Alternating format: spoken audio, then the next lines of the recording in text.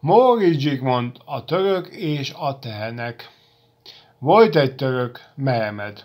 Sose látott tehenet. Nem is tudta Mehmed, milyenek a tehenek. Egyszer aztán Mehmed lát egy csomó tehenet, csodálkozik Mehmed. Ilyenek a tehenek.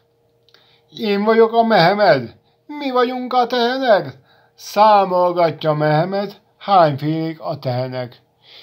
Meg is számol Mehmed háromféle tehenet, fehéret, feketét, tarkát, meg ne fogd a tehén farkát? Nem tudta ezt Mehmed, és felrúgták a tehenek.